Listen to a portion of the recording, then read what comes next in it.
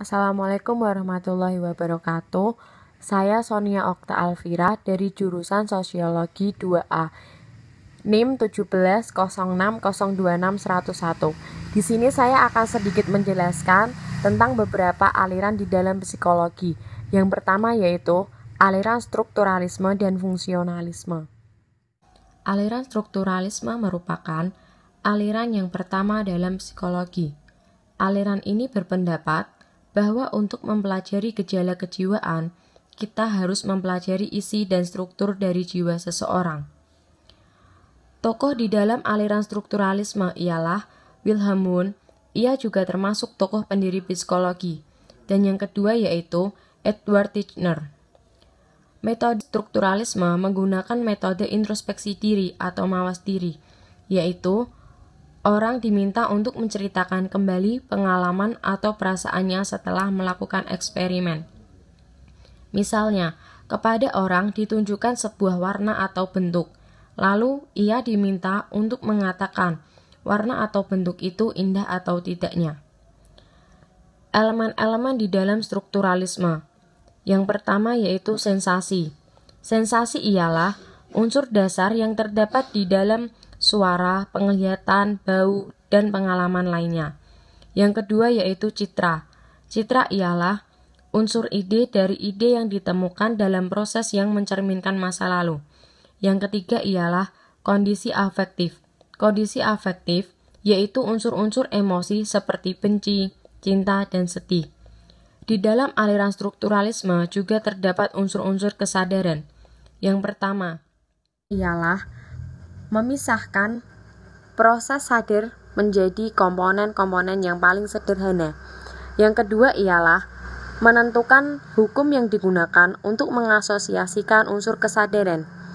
Dan yang ketiga ialah menghubungkan unsur-unsur kesadaran dengan kondisi fisiologis. Adapun tujuan di dalam strukturalisme, yang pertama, menggambarkan komponen-komponen kesadaran sebagai elemen-elemen dasar. Yang kedua, menggambarkan kombinasi kesadaran sebagai elemen-elemen dasar tersebut. Dan yang ketiga, menjelaskan hubungan elemen-elemen kesadaran sistem syaraf. Aliran yang kedua ialah aliran fungsionalisme. Aliran fungsionalisme tumbuh di Amerika Serikat dengan karakter orang Amerika yang serba praktis dan pragmatif. Aliran fungsionalisme lebih mempelajari ke fungsi, suatu tendensi dalam psikologi yang menyatakan bahwa pikiran, proses mental, persepsi, indrawi, dan emosi adalah adaptasi organisme biologis. Tokoh di dalam aliran fungsionalisme yang pertama yaitu William James. Ia juga dikenal sebagai tokoh pelopor psikologi di kawasan Amerika Serikat. Yang kedua yaitu James Roland Angel. Dan yang ketiga yaitu John Dewey. Pandangan filsafatnya, manusia yang berpikir selalu berpikir tentang perubahan, dan teori yang terkenal yaitu learning by doing. Di dalam aliran fungsionalisme, menggunakan metode observasi tingkah laku. Metode observasi tingkah laku di sini dibagi menjadi dua. Yang pertama yaitu metode fisiologis. Cara menganalisa gejala kejiwaan dengan meneliti proses fisiologis yang terjadi dalam diri orang yang bersangkutan. Yang kedua ialah metode variasi kondisi.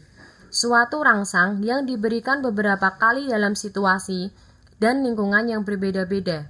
Dengan situasi yang berbeda-beda tersebut, maka dapat diketahui sifat-sifat yang menetap atau tidak menetap pada diri seseorang. Macam aliran fungsionalisme di sini dibagikan menjadi dua. Yang pertama yaitu fungsionalisme Chicago.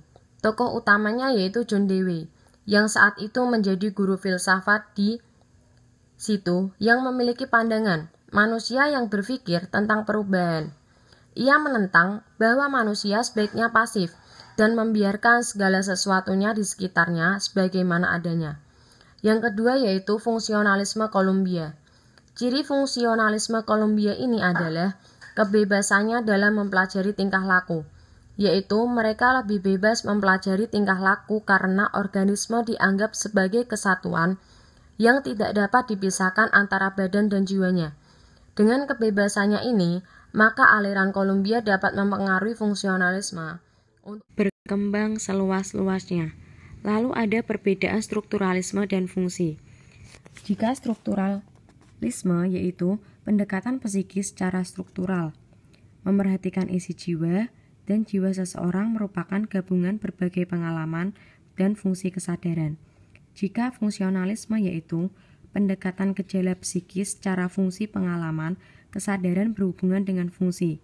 Lebih menitik beratkan pada aksi seseorang dan jiwa seseorang diperlukan untuk mengungkapkan hidup atau menyesuaikan diri.